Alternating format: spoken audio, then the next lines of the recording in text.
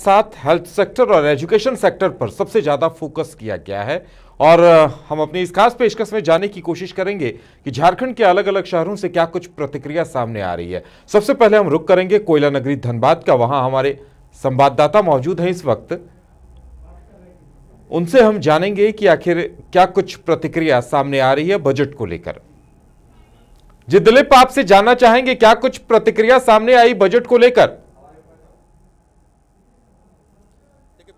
पहले आपको मैं बता दूँ कि कोयलांचल बहुत बड़ा शहर है, देश की कोयला राजधानी है, और जब भी आम बजट पेश होते हैं तो बहुत सारी निगाहें यहाँ के जो स्थानीय लोग हैं, जो व्यवसायी हैं, जो एजुकेटेड लोग हैं, जो एजुकेशन से जुड़े लोग हैं, उनको नज़र रहती है। लेकिन हर बार लगता है कि कुछ ना कुछ होना चाहिए, लेकिन ऐसा कुछ होता नहीं है।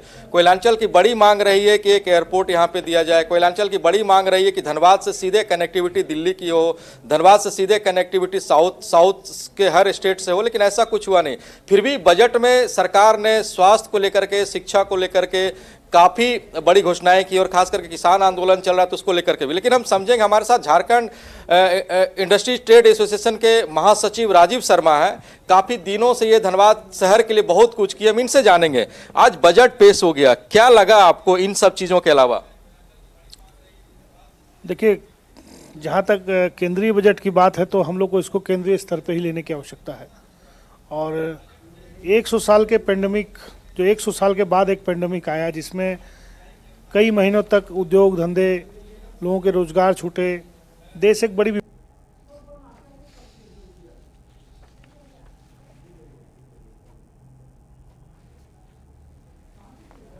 सुविधाएँ नहीं है बहुत खास भी नहीं रखा गया कुल मिला के बजट मिला जुला है और ठीक ठाक है उद्योग के लिए या और सेक्टर के लिए जो जो भी प्रक्रिया अपनाई गई है? क्योंकि आजकल जैसे जीएसटी में बदलाव कुछ करना है तो उसके लिए कुछ करना है तो उसके लिए जीएसटी काउंसिल है। अन्य सेक्टर्स में भी काम करने के लिए सरकार क्या करती है कि नीति ये बनाती है कि हम डायरेक्ट पहले ही या बीच में ही कभी भी कोई कोई कदम उठा ले। जैसे अभी सुरक्षा के क्षेत्र में, देश की सुरक्षा के क्षेत्र में काफ़ी बड़े इन्वेस्टमेंट पिछले दिनों हुई है, जब पड़ोसी देश के द्वारा हमारे देश के अंदर घुसने का प्रयास हुआ। तो ऐसे स्थिति में मुझे लगता है कि इस बार के बजट में एक चीज़ जो फोकस की है सरकार ने, वो है उद्योग धंधों के इंफ्रा इसके हेल्थ सेक्टर के इंफ्रास्ट्रक्चर पे खर्च का। तो ये एक अच्छा स्टेप रहा है, जिसके चलते आने वाले समय में जो स्वास्थ्य का क्षेत्र अछूता रह गया था अब तक। और इस स्वास्थ्य के क्षेत्र में पिछले दिनों जब कोरोना काल आया तो उसमें पूरे देश में आईसीयू के बेड्स बहुत बढ़े बहुत अधिक बेड बढ़े आईसीयू के। तो ये एक मैसेज था और अभी जो सरकार ने बजट में उसका प्रावधान किया, एक मैसेज दिया है कि हम हेल्थ सेक्टर पे कंसर्न करते हैं। साथ ही साथ हम लोग जो धनबाद की मांगे हैं, चूँकि रेलवे बजट अब नहीं आता है तो आज के दिन रेलवे बजट का पार्ट भी वित्त मंत्र, वित्त मंत्री, मंत्रालय के द्वारा ही उसका वित्त, रेलवे को दिया जाता है। तो हम लोग की बहुत पुरानी मांग है कि हम लोग धनबाद से ट्रेनें चले, साउथ के लिए अलग से ट्रेन चले, कुछ चेन्नई और बेंगलोर के लिए अलग से ट्रेन जाए, इसके अलावा जो दिल्ली के लिए ट्रेन और बम्बई के लिए ट्रेनों की मांग हम लोग लगातार करते हैं। धनबाद में एयरपोर्ट बनाने की बात हम लोग लगातार करते हैं। तो जो धनबाद को लेकर के कंसर्न है, वो तो अभी तक पूरा नहीं होता दिख रहा है। लेकिन मुझे अपेक्षा है इस बात जो बात सरकार के समक्ष भी है, उन बातों पर सरकार गंभीर है। जैसे एयरपोर्ट के लिए बहुत बड़ी आर्ता रखता है। और ये आर्ता इसलिए रखता है कि धनबाद में जिस तरह के संस्थान हैं, चाहे वो आईआईटी हो या बीसीसीएल हो, चाहे आप कह सकते हैं कि बीआईटी सिंदरी है, इसके अलावा एमपीएल जैसे बड़े संस्थान हैं, आसपास में और उद्योग लगने की संभावना है हेल्थ सेक्टर में काफ़ी गुंजाइश है मेडिकल कॉलेज है ऐसे देखते हुए जो बाहर से फैकल्टीज़ आएँ, उनके लिए या यहाँ से इलाज कराने के लिए जो बाहर जाएँ लोग, उनके लिए हेल्थ सेक्टर में काफ़ी ज़रूरत है और मुझे लगता है कि ये जल्द ही पूरा करने की संभावना है और आने वाला बजट जो है जो नेक्स्ट ईयर जो आएगा उसमें जो उद्योग धंधों की भी जो कमी रह गई है उसको सरकार पूरा करने का प्रयास करेगी। हालाँकि कुछ दिखा था सड़क को लेकर के बड़ी घोषणाएँ हुई हैं। जि, जिन राज्यों में ऐसा कुछ लोगों से हमारी बात हुई थी वो कह रहे थे जिन राज्यों में चुनाव होना है वहाँ पे सरकार ने ज़्यादा ध्यान दिया है। क्या यह भी ऐसा हो सकता है कि झारखंड में बीजेपी की सरकार नहीं है डबल इंजन की सरकार नहीं तो इसका भी नुकसान दिखता है क्या बजट में ऐसा कुछ? देखिए, मैं तो उस, इसको ऐसे लेता हूँ कि ये जब से देश आज़ाद हुआ, जब से पहला बजट पेश हुआ, तब से ही लेके अब तक। जिस राज्य में चुनाव होने होते हैं, उन राज्यों की चर्चा बजट में ज़रूर आती है। लेकिन बजट के जो एलोकेशंस होते हैं, वो तो एक प्रोपोर्शनेट रास्ता है, उसका प्रोपोर्शनेट तरीके से जाता है। कुछ राज्यों में ये लगता है कि वहाँ पे बजट ज़्यादा चला गया है, जबकि अगर कोऑर्डिनेशन की बात करें तो झारखंड और केंद्र सरकार का जो कोऑर्डिनेशन कोरोना काल में दिखा वो हम लोगों ने बार बार महसूस किया कि अभूतपूर्व रहा। इतना समन्वय तो अन्य राज्यों में नहीं रहा, जितना समन्वय झारखंड की हेमंत सोरेन सरकार जी हेमंत सोरेन जी की सरकार और केंद्र के माननीय प्रधानमंत्री नरेंद्र मोदी जी की सरकार के बीच में रहा। तो इसको हर चश्मे को, हर चीज़ों को राजनीतिक चश्मे से नहीं देखना है, इसको इस तरह से देखना है कि चूँकि चुनाव है तो वहाँ के लोगों को जानकारी होनी चाहिए कि हम लोग आपके लिए एक्स्ट्रा क्या कर रहे हैं या हम लोग क्या करने जा रहे हैं। आगे फ्यूचर प्लानिंग क्या है वो कोई बुरी बात नहीं है और वो ठीक है उसमें कोई ऐसी बात नहीं। जी दिलीप पे ये कंस्ट्रक्शन व्यवसायी ये भी मांग निर्माण उद्योग जो है वो काफ़ी अहम होता है हज़ारों लोगों को रोज़गार मिलता है। सरकार ने कहा है कि स्टील की कीमतें कम होंगी तो क्या इन सब का फ़ायदा है? निर्माण उद्योग यानी कंस्ट्रक्शन इंडस्ट्री पे भी पड़ेगा क्या कहते हैं राजीव शर्मा जी? पूछिए जरा उनसे। निर्माण को लेकर के इंडस्ट्री को डेवलप करने को लेकर के सरकार ने कड़े कदम उठाए स्टील के दामों में गिरावट करने की बात आ रही है। तो क्या इसका फ़ायदा इंडस्ट्रियल को मिलेगा? देखिए जहाँ तक उद्योग धंधों की बात है, अभी आपने जो स्टील की बात की स्टील किसी भी इकोनॉमी की रीढ़ होता है। कोल स्टील सीमेंट ये जो है, ये जो इंफ्रास्ट्रक्चर से जुड़े हुए प्रोजेक्ट्स के लिए बहुत बड़ी आवश्यकता होती है। और मुझे लगता है कि माननीय मंत्री नितिन गडकरी जी ने भी प्रधानमंत्री कार्यालय को इसके लिए लिखा है। तो ये हम सबों का कंसर्न है, क्योंकि जिस तरह से स्टील के दाम बढ़े, उससे लागत बढ़ेगी और काम कम होगा।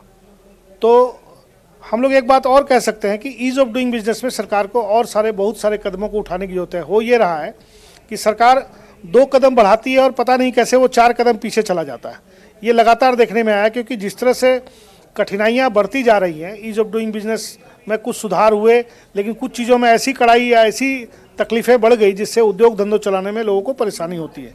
तो सरकार को चाहिए कि ईज ऑफ़ डूइंग बिज़नेस पे जब भी सुधार करे, उद्योग संगठनों से राय ले, उन राय के आधार पर एक रास्ता बनाए। बहुत सारी फ़ीस बढ़ा देने से, बहुत सारे लाइसेंस थोप देने से, बहुत सारे लाइसेंस की प्रक्रिया में सिर्फ़ रजिस्ट्रेशन कर देने से नहीं होगा। उनके जो पैसे लिए जाते हैं फ़ीस और लाइसेंस फ़ीस के नाम पे जो अमाउंट लिया जाता है, उसमें लगातार बढ़ोतरी से उद्योग धंधों की लागत घट, बढ़ती है और लागत जब बढ़ेगी तो स्वाभाविक बात है कि हमारा माल हमेशा महँगा बनेगा और माल महँगा बनेगा तो महँगा बिकेगा और इससे महँगाई पर असर पड़ेगा। सरकार को इन चीज़ों पर देखना चाहिए। तो उदय आप सुन रहे थे राजीव शर्मा ने कई अहम बातें की हैं बजट को लेकर के। हालाँकि कुछ बातों को छोड़ दिया जाए तो बजट सकारात्मक लेकिन जो खास करके जो मध्यम वर्ग के व्यवसायी हैं मध्यम वर्ग के लोग हैं उनके लिए खास कुछ खास बजट में दिखा नहीं। और खास करके अगर कोयलांचल की बात की जाए तो कोयलांचल की पुरानी मांग रही है। दिल्ली से कनेक्टिविटी की साउथ से कनेक्टिविटी की वो पूरा नहीं हो पा क्या रहा। है। राजीव जी को भी ऐसा लग रहा है कि खेती किसानी और शिक्षा और स्वास्थ्य पर ज़्यादा फोकस है और जो छोटे व्यवसायी हैं छोटे उद्योगपति हैं छोटे छोटे लघु और कुटीर उद्योग धंधे वाले हैं उनके लिए क्या कुछ और होना चाहिए था क्या? राजीव शर्मा जी क्या कहते हैं? क्या और होना चाहिए था? किसान को लेकर के लिए सोचा गया हेल्थ को लेकर के सोचा गया कुटीर उद्योग के लिए सोचा गया। आम व्यवसायी जो मध्यम वर्ग के व्यवसायी उनके लिए क्या और कुछ होना चाहिए था? देखिए, जिस तरह की महँगाई बढ़ी है, जिस तरह से लागत बढ़ी है, सरकार अगर छोटे व्यवसायियों के लिए सचेत नहीं होती है, ऑनलाइन से लड़ने के लिए तंत्र तैयार नहीं करती है तो बड़ी संख्या में दुकानें बंद होने का खतरा खड़ा हो गया है। सरकार को कोई ऐसा तंत्र विकसित करने की ज़रूरत है, जिससे छोटे व्यापारियों को भूमिका जैसे आज किसानों की बात आई है, उसी रिटेल सेक्टर्स के छोटे व्यापारियों के लिए भी सरकार को कुछ कदम ऐसे उठाने होंगे, जिनसे उनका व्यापार रोज़गार प्रभावित नहीं हो, क्योंकि वो एक व्यक्ति, एक बार का रोज़गार नहीं करता वो। उसके साथ उनके दुकानों में काम करने वाले, आसपास रहने वाले, एक पूरी एक पूरी इकोनॉमी चलती है इससे। और एक इकोनॉमी ध्वस्त हो और दूसरी इकोनॉमी बने, उससे कभी भी कहीं लाभ नहीं होता है। इवन होना ये चाहिए कि ऑनलाइन को कुछ बंदिशें लगे और हमें भी जो छोटे दुकानदार हैं, उनको उसका लाभ मिले कैसे कि वो बेहतर तरीके से सरकार के द्वारा कोई ऐसा फोरम खड़ा हो, सरकार ऐसी कोई नीतियाँ लेके आए जिससे रिटेल सेक्टर्स को इसका लाभ मिले कि वो अपने आप को बचा सके। नहीं तो बड़ी संख्या में। रोज़गार जाने का खतरा खड़ा हो गया है, स्वरोजगार की जो बात होती है, उसमें दुकानें बंद होने का खतरा खड़ा हो गया है। समझ में खड़ी होगी, क्योंकि जो लोग स्वरोजगार कर अगर उनका रोज़गार समाप्त होगा पैसा थे उनकी हालत क्या होगी? आप अंदाज लगा सकते हैं। उदय आपने सुना जी। सरकार ने जो किसान को लेकर के किया है आम लोगों के लिए भी वैसे ही योजना लाना चाहिए। और खास करके जो मध्यम वर्ग के व्यवसाय हैं छोटे छोटे उद्योग छोटे छोटे व्यवसाय करके अपना परिवार चलाते हैं अगर स्वरोज स्वरोजगार नहीं बढ़ाएँगे उनके लिए सरकार कोई स्कीम नहीं लाएगी। कोरोना काल में वैसे भी वो परेशान रहे हैं एक साल होने को है अगर उनके लिए कोई स्कीम नहीं लाई तो जैसे जैसे स्वरोजगार की संभावनाएँ घटेगी बेरोजगारी बढ़ेगा तो कहीं ना कहीं बहुत बड़ा विकराल रूप ले लेगा। और ऐसे में सरकार को बजट में कुछ प्रावधान करने की ज़रूरत है। जो इन लोगों को भी कुछ फ़ायदा हो। जी।